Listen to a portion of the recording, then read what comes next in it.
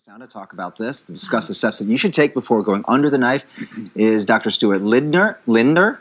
He's a board certified plastic surgeon who's been practicing more than 20 years. He's also the author of this book here. It's called The Sh- Beverly Hills Shape The Truth of Plastic Surgery. Thank you so much for joining us, Dr. Linder, and keeping us safe. Well, thank you for having me today. It's a privilege to be here. So, we do want to, let's just start with the basics. Um, and, and I don't know why this is often overlooked that you need to find a, a surgeon who's board certified. Is that that difficult to do? You know, you would think it wouldn't be that difficult to do, but my gosh, patients don't understand. There's a lot of problems because of what is board certified. Mm-hmm. There's board certified plastic surgeons and board certified cosmetic surgeons, so it can be very difficult for a consumer or a patient to understand the difference. And the difference is monstrumental. Okay. You must be a board certified plastic mm-hmm. surgeon. There are no substitutes. Okay. With the American Society of Plastic mm-hmm. Surgeons, period. So not the cosmetic. Well, that's what you're saying. I, I don't want to say anything negative about any other sure, societies, sure, but sure, sure.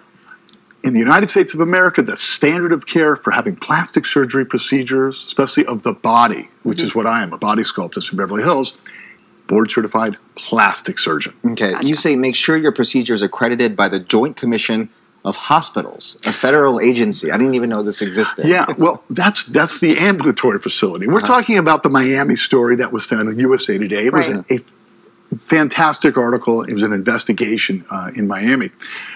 Not only does your, your doctor need to be a board certified plastic surgeon, but the facility that you go to needs to be accredited as well. It needs mm-hmm. to be mm-hmm. certified.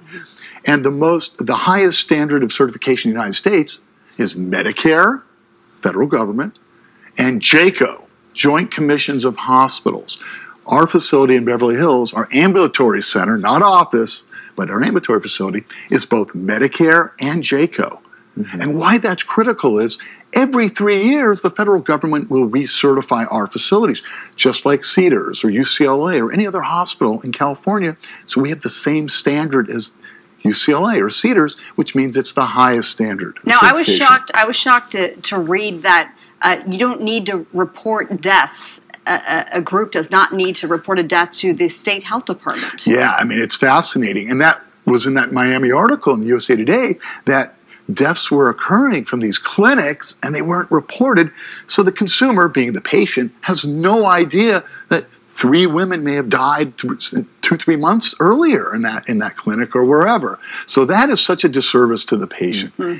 You know, and that's a state regulation, and it may differ from state to state, but it's really, you know, again, you have to do your homework when you're considering plastic surgery. So break it down for us. For, for anyone that's out there that's looking to get any kind of procedure, even if they have the board certification and, and, and such, you go into an office. What would be some key red flags, do you think, if they went into office and you think, wait a minute, I have some pause here, maybe I should look somewhere else?